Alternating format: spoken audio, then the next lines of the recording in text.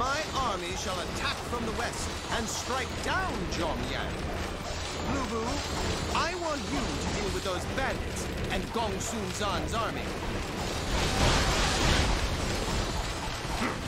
Who does he think he is, ordering me around like that? Whatever, as long as I can have some fun in this battle. We've been waiting for you.